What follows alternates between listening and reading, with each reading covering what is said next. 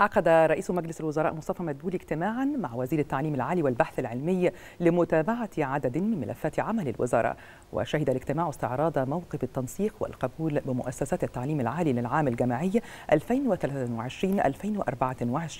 حيث أن إجمالي عدد الطلاب المقبولين للالتحاق بتلك المؤسسات وصل إلى 979,485 طالبا وطالبة من خريج الثانوية العامة والشهادات المعادلة والشهادات الفنية. كما وصل عدد المؤسسات التعليمية المتاحة إلى 323 ما بين جامعات حكومية وخاصة وأهلية وتكنولوجية وكذلك معاهد عليا ومتوسطة ومعاهد فنية حكومية ومعاهد صحية والجامعة العمالية.